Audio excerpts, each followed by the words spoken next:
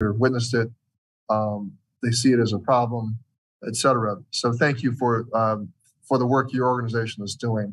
Um, I now uh, want to recognize Ranking Member Bost for five minutes. Ranking Member. Thank you, Mr. Chairman.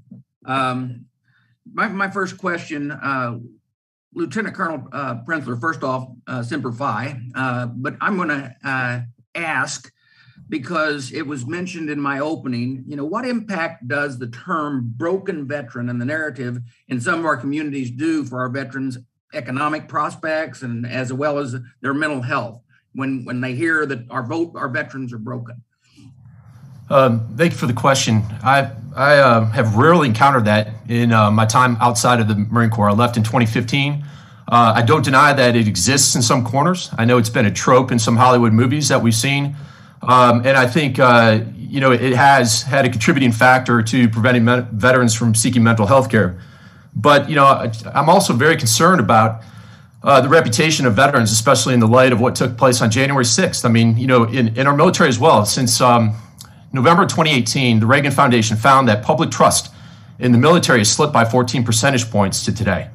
And also, uh, the Veterans and Citizens Initiative did a poll, and last November uh, till March of this year, we also found public trust in veterans as good role models slip by a similar percentage point of 14 points. So, ranking member, my, my concern is that as long as we maintain an all volunteer force, uh, the, the public perception of our veterans and our military remains critical because we know that veterans' reputations and our recommendations to young people to consider the military as an occupation is almost the number one or number two factor that recruiters will list as why they join the force. So, you know, while that the narrative that you brought up is is uh, problematic, um, I'm very concerned about this issue and about the public perception of our veterans, as you are.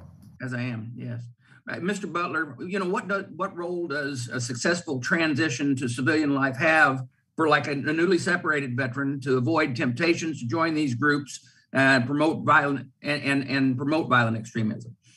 Yeah, thank you, sir. I, I think that's a huge part of not just this issue, but so many others that veteran service organizations uh, are, working on right now, the better that we can, better job that we can do in supporting our veterans when they transition, I think we're really going to get ahead of many issues, not just uh, extremism, but certainly uh, underemployment, unemployment, educational benefits. You know, so much of what uh, VSOs do, and certainly what IAVA sees when members reach out to us for support, is that if they had come to us sooner, you know, we would have cut off a crisis and really just been able to help them uh, with the transition and with some changes. So I think the more that we can do to connect uh, maybe not with just with veterans, but with active duty service members who are looking forward to when they transition into the veteran community, how we can start helping them earlier. Uh, we're going to tackle, I think, a lot of these problems, and I think a lot of them are related. I think if you talk about underemployment, unemployment, lack of a sense of purpose in within a veteran, you're talking about the same issues that are also leading towards them being uh, exploited by extremist groups.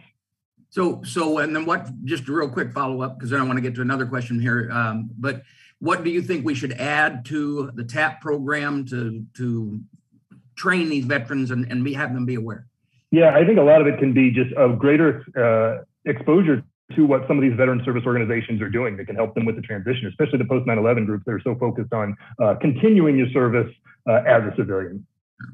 Okay, this is for the whole panel, and I really do want to get to this. You know, this is from whomever for whoever wants to answer. Um, the groups that have all discussed today all share some level of uh, anti-government beliefs.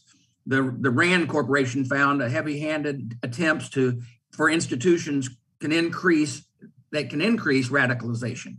So, what policies should government implement to address violent anti-government groups without further inflaming their already uh, sentiment uh, and increasing their message instead of, you know, basically fanning the flames. Anyone?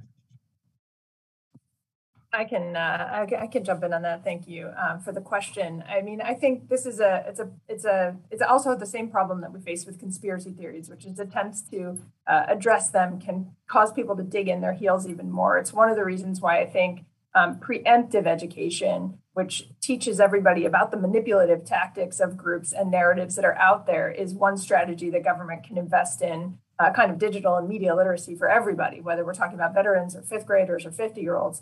um, that is something that that is not um, targeting the ideology itself, but the tactics and the manipulative strategies used by those extremist groups to try to exploit people.